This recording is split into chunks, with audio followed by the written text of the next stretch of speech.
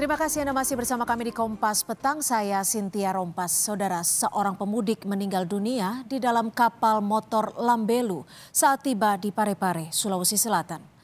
Jenazah korban langsung diturunkan di Pelabuhan Nusantara Kota Parepare, Sulawesi Selatan, Senin siang. Korban meninggal di dalam kapal saat perjalanan dari Tarakan ke Pelabuhan Nusantara Kota Parepare. Menurut tim medis, korban meninggal karena penyakit yang dideritanya kambuh. Selain korban meninggal, tim kesehatan Pelabuhan Parepare Sulawesi Selatan juga menemukan satu penumpang lainnya yang sakit. Mereka selanjutnya dibawa ke RSUD Andi Makassau, Kota Parepare.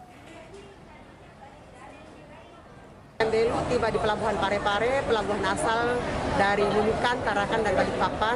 Jumlah penumpang yang tiba 1.306 orang.